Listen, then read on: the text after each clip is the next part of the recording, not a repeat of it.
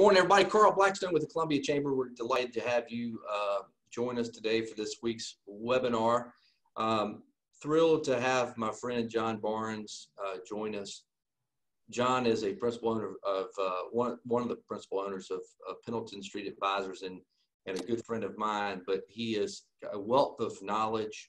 Uh, I'm gonna let him talk a little bit about Pendleton, but uh, they are very, very good at what they do in, in helping businesses grow and develop and have a strategic plan. Think of it like a financial planner for businesses. And um, he's a, a, thought leader in this community. Uh, just recently, or last year, got elected to uh, Forest Acres Town Council. Uh, but John's been engaged in Columbia for a long time. Little piece of trivia. Met John literally a little over six years ago. I just started the chamber. And he and I were born in the same hospital in Eastern North Carolina. I've never met anybody else uh, outside of my hometown that was born in the same place I was. So um, John, John and I uh, go back a ways and, and, thrilled that he's here. So thank you for taking the time to be with us. Uh, just for housekeeping, there's a chat box. Everybody knows this, but uh, feel free to, uh, if you have questions for John, um, feel free to put that in the chat box or info at columbiachamber.com, info at columbiachamber.com if you are on the phone and, and, and can't uh, enter the chat box. So John, I'm gonna flip it over to you, but thanks so much for, for being here. Sure. Uh, well, thanks for having me. Uh, thanks for the chamber for um, hosting these things. I, I think what you'll um, hopefully see in, in the presentation uh, that I that I do today that, that the chamber is actually incorporating a lot of these things that I'm going to be uh, sharing with you today, um, and they're doing a great job of uh, leading through this time. Uh, let me go ahead and I want to share my screen. Um, let's see. we can get into the slides and we'll kind of get into the the issue at hand here. Um, so this is, uh, you know, the title of this is, is preparing your business for the next normal. Um, I've, I've, sort of grown a little tired of people talking about the new normal. I feel like that got worn out um, in the 2008, 2009 crisis. Um, and I think in that, in that recession, we did have a lot of new things going on. Um, but the reason I differentiate between new and next is if you think about even even in um, as, as, a person when you when you grow up you go through things you learn lessons uh, you don't forget those things. You, you, carry those with you into the next stage of life. In business you carry those into the next stage of your business uh, the next stage of the economy and so um, if, if, i was able to sort of single-handedly uh, change our vocabulary on this uh, i'd love to do it so that we start talking about uh, what the, the next normal is going to be um, so let me start by sharing this with you. Um, just you see just a line graph here. Um, the Wall Street Journal and an organization called Vistage International. Uh, they're sort of a peer advisory group for small business owners. I am not a member of this uh, of this group. Um, this is not a commercial for Vistage, but they put out a monthly survey of small business CEOs. Um, and you'll see here, uh, they've been running this survey since 2012. February of 2020 was the highest ever recorded level of uh, CEO confidence uh, among small businesses. Um, 816 businesses were surveyed in this. Um, 50% of the respondents uh, were businesses with less than 50 employees. So again, a kind of a classic uh, Chamber of Commerce member uh, in terms of the smaller business community. We do have larger businesses represented uh, within the Columbia Chamber, but this is a survey of people sort of just like us uh, that are participating here.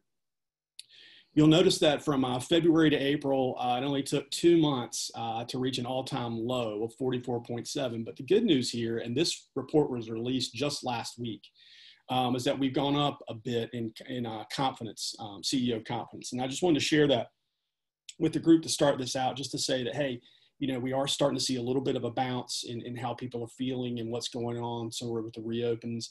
Uh, I'm going to share a few more data points from this survey, and then we're going to have kind of part two of this, which is going to go into um, value creation in businesses, and I think how specifically uh, businesses can can um, benefit from thinking about this next normal. Uh, simple question here, you know, during the next 12 months, do you expect economic conditions? Um, half of the people thought they'd be better and about half of the people thought they'd be worse. Uh, kind of a, a, dead even tie there. Um, when asked about uh, their firm's sales revenue, 42% uh, thought that they would, their sales revenue would decrease over the next 12 months. But I think it's interesting, and this is where you can have fun with statistics here. If you take the increased number at 33% and the remain the same at 23%, add those together, 56% of respondents uh, think they're either going to stay the same or increase over the next 12 months. And so I don't think we need to, to lose sight of that. In terms of profitability, again, 44% think that profitability will decrease over the next 12 months. But again, if you take that improve and you add the remain the same, uh, that's about 54% uh, think that their profitability will get better. Uh, that, that's a good thing. Um, sentiment is a very powerful thing in terms of business. In other words, we don't like to talk about feelings a lot. We like to talk about measurables. We like to talk about hard data. Sentiment is very hard to measure, but it is unmistakable uh, in terms of its impact on the business community.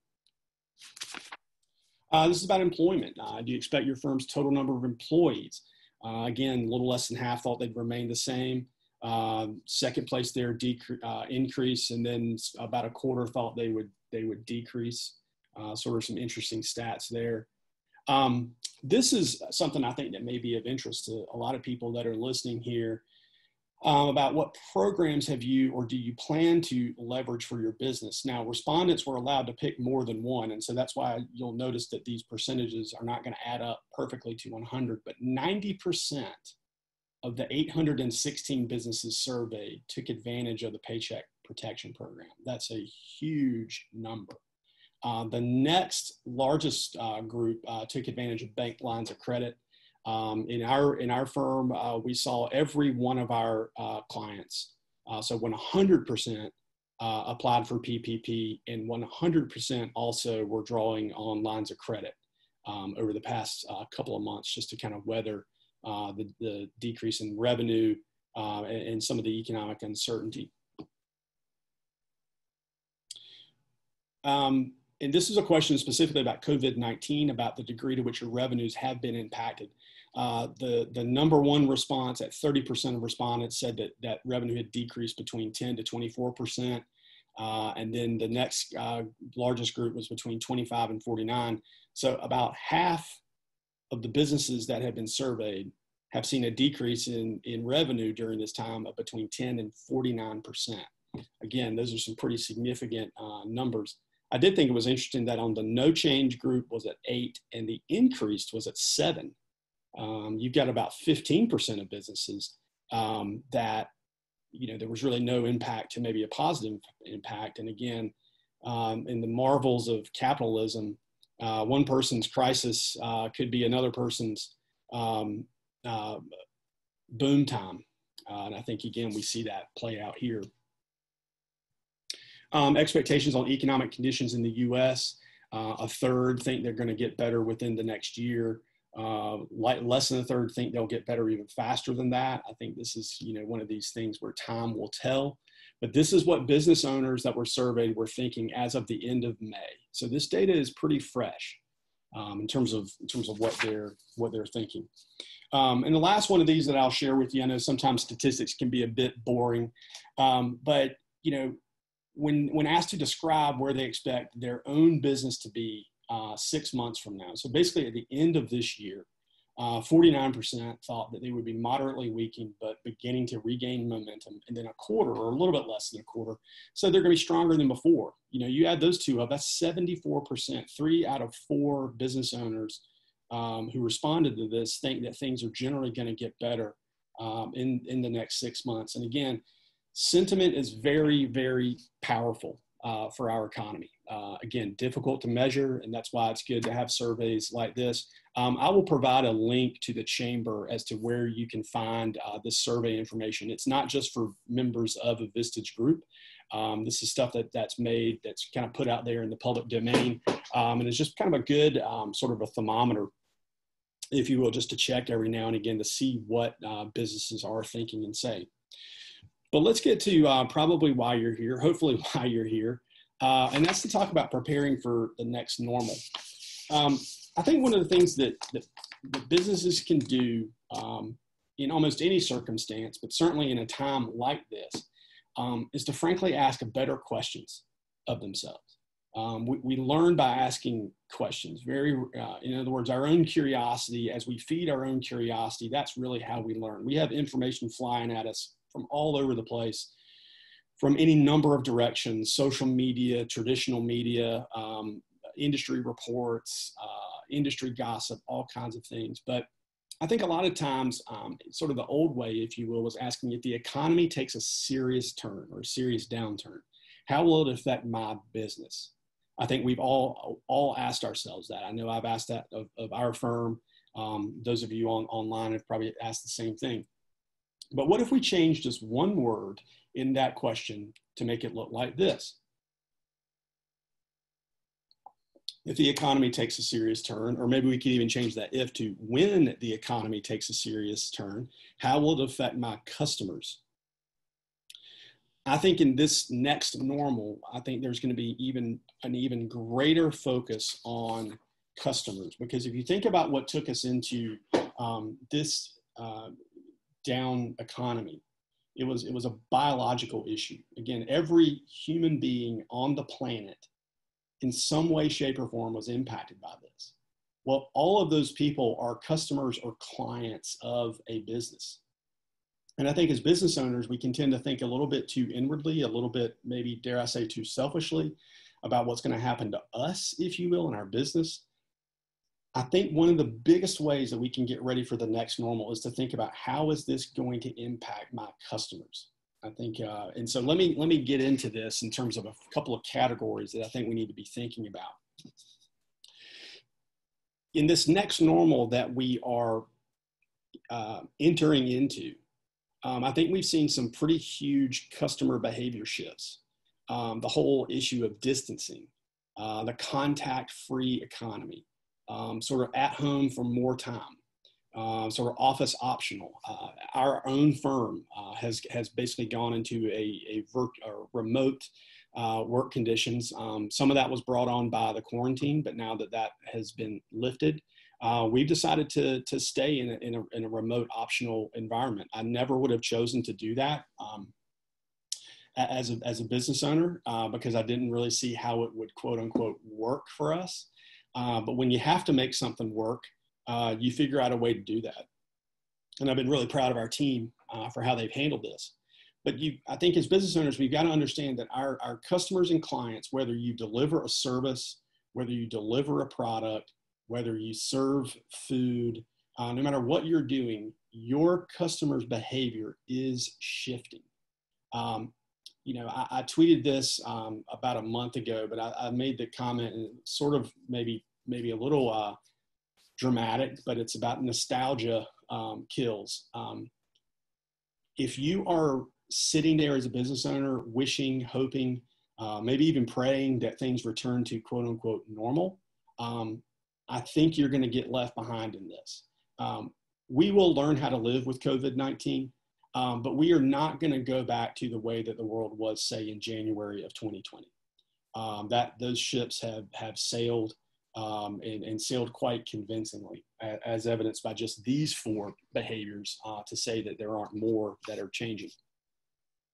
I think another thing that is, that is going to impact customers um, are, are various government interventions. Uh, I'm not making a political statement here uh, whatsoever, but this is just a fact. Uh, when you have the level of closures uh, that we had that were mandated by different government entities, whether it's stay at home, shelter in place, whatever uh, the jurisdiction you live in was calling it, um, when you have the targeted financial tools uh, that the federal government, state government, even local governments, uh, things like City of Columbia, their grant programs and things like that, um, changes in laws, as well as the, the sort of the issue of local, state, and federal coordination of these kind of things. This is going to impact how your customers behave um, not only how they do business, but how, in other words, and how they purchase goods and services. But they also expect that the providers of those goods and services uh, fall in step.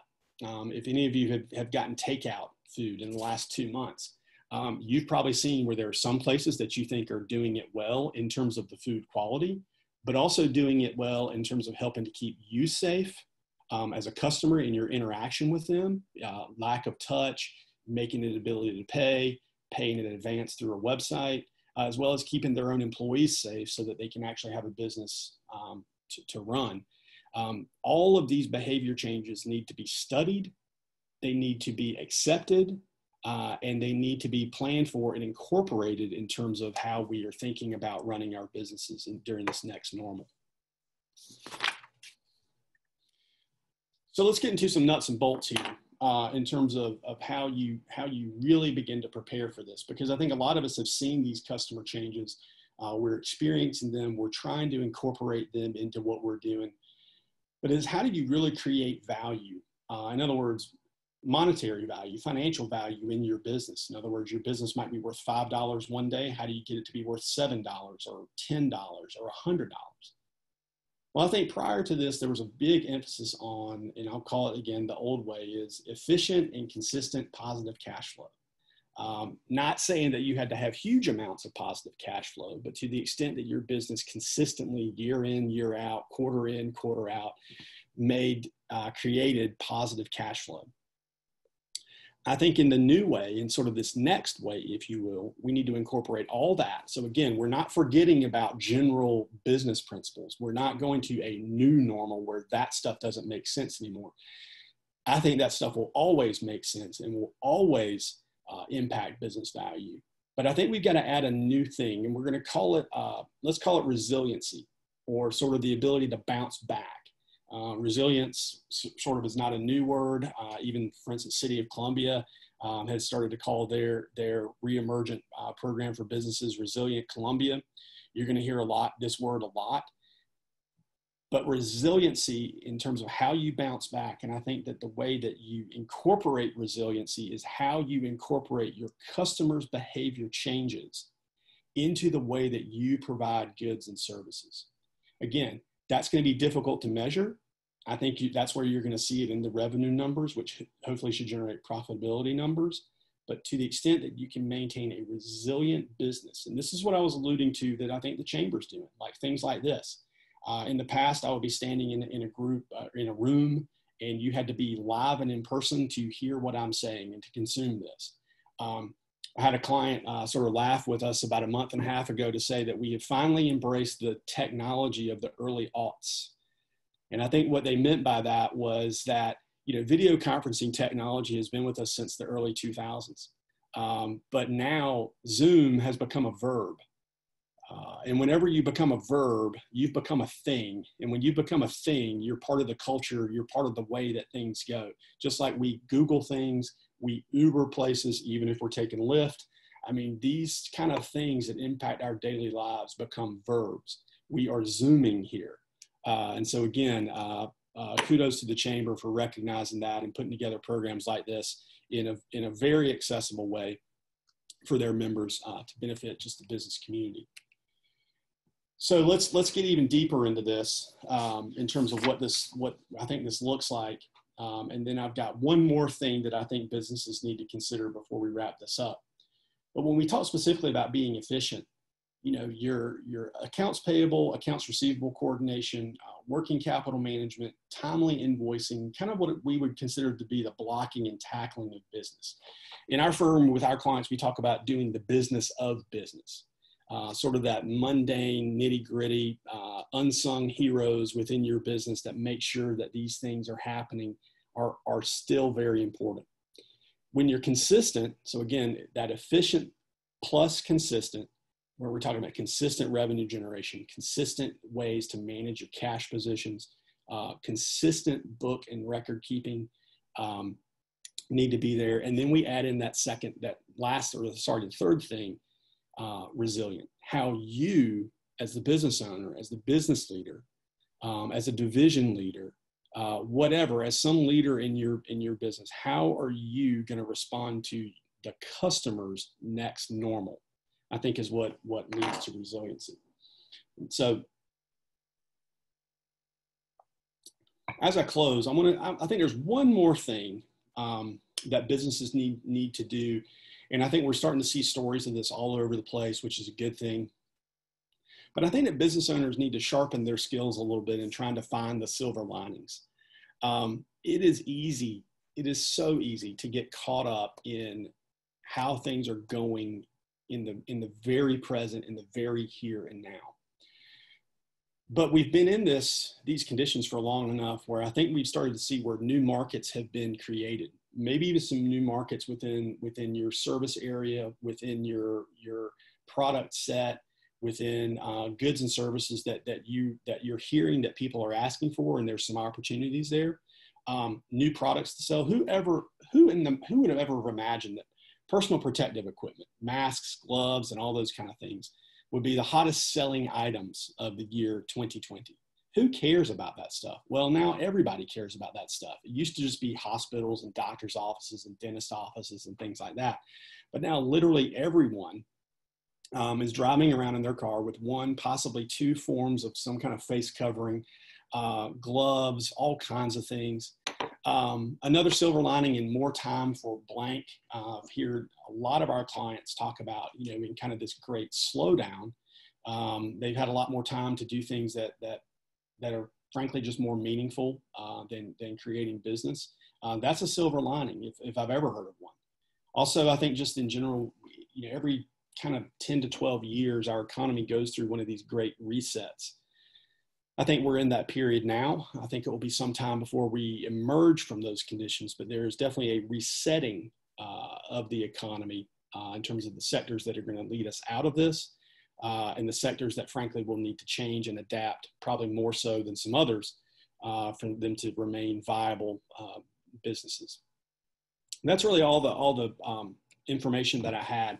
Uh, there's my contact information there. These slides are going to be made available uh, through the chamber um, that you guys can can use and, and, and distribute promiscuously, hopefully, uh, in, in order to find people that could benefit from this information. But again, I want to thank the chamber for for inviting us to do this.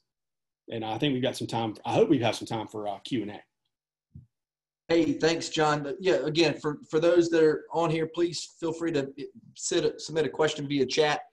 Um, I can't see everybody, so I was going to say if you want to raise your hand, but I, that's going to be, uh, we, we can play that game too, as best we can. John, let's talk about what you're hearing from or what you're seeing through your clients and all obviously we know Zoom and, and the new verbiage, which is true. Uh, what, what, other, I mean, who would have thought that, again, some restaurants are making more than they made before. You've got nurseries and, and outdoor garden centers that are tonning it right now, uh, which is great, right? But what, what other trends do you see? I mean, you, are you got some clients that you were surprised that are doing extremely well? And if so, what are the, what are some of those uh, specific traits that you've been impressed by? Yeah, uh, um, I love that question. Um, you know, by and large, a lot of our clients are, are I think, more than muddling through this. Uh, some of them have had a few more bumps and scrapes than, than, others. I mean, one general trend, we have a lot of clients that sort of work in uh, sort of backlogs. In other words, they know the work they'll be doing six, nine, 12 months from now on sort of a contractual basis. I think probably um, in first quarter of this year, uh, they were enjoying some of the longest backlogs they've ever seen.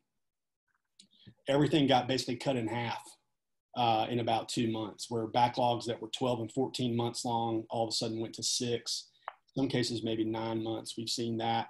Um, we've seen clients innovate. Uh, again, the, the PPE uh, product mix is something that if, if there is a way for you to offer it in your business and sort of keep a straight face, uh, you, you need to be doing that. Um, clients have, have become successful in that. Um, clients have also used this as an opportunity to, to, to work uh, on their business. Um, in, in, other words, things are a little bit slower, and through programs like PPP that we're helping to uh, maintain jobs, they, they've sort of retasked um, a lot of their team members to work on things in the business uh, that they've wanted to do for some time. And so that's a, that's kind of a third trend that we're seeing.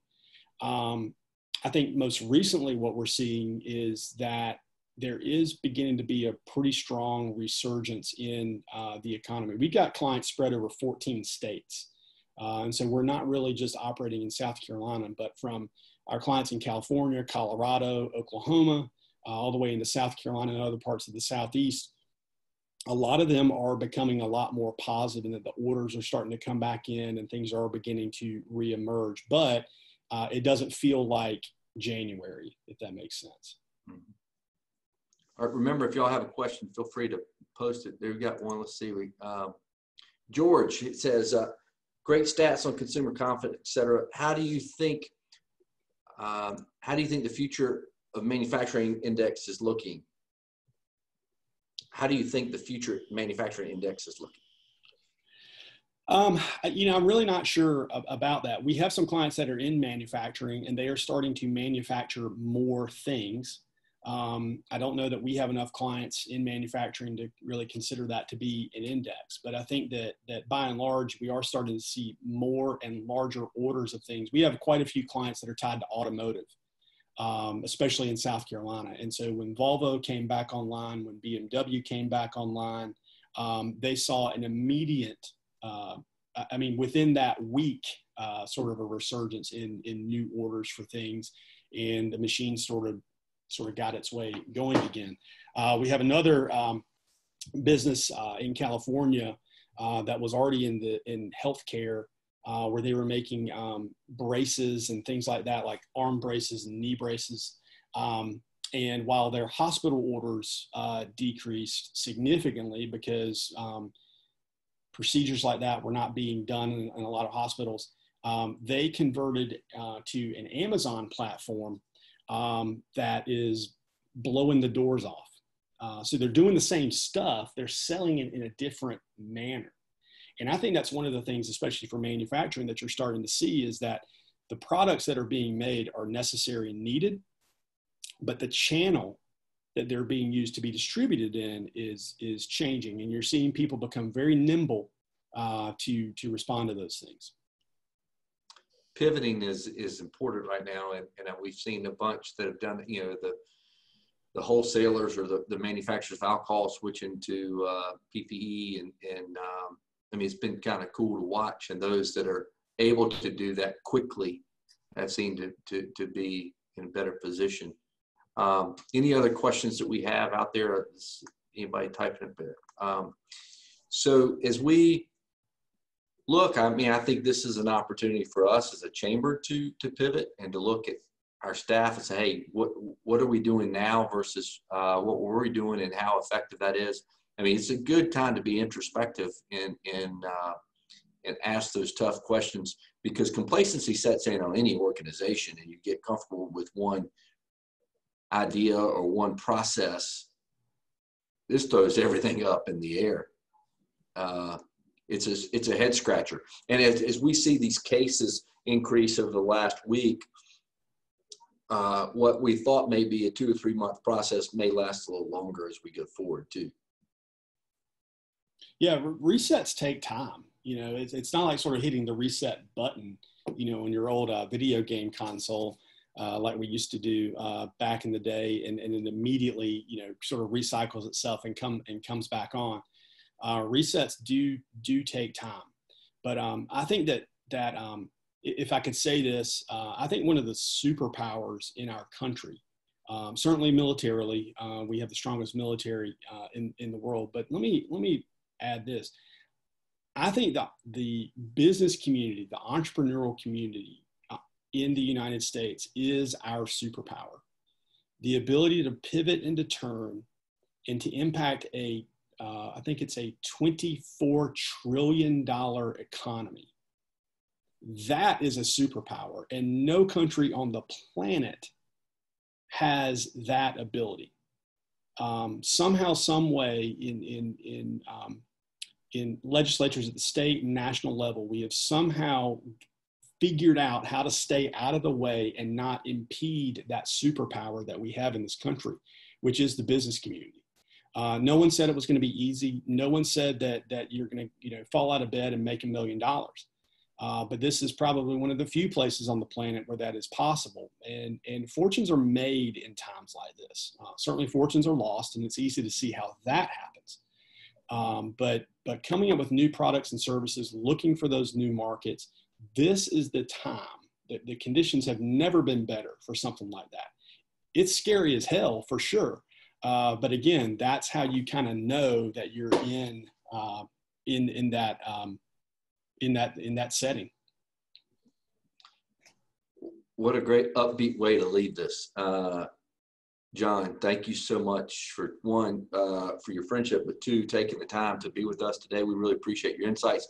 Uh, John Barnes, Pendleton Street Advisors. Again, we'll have this up on the website this afternoon. For those that want to get in touch with John, uh, we'll have his contact information as well on our website. So thanks for tuning in today. Thanks for being with us. We appreciate it. We'll be back again here shortly. So keep an eye out for more programming. Thanks a bunch. Call us if you need us. Talk to you soon. Great. Thanks.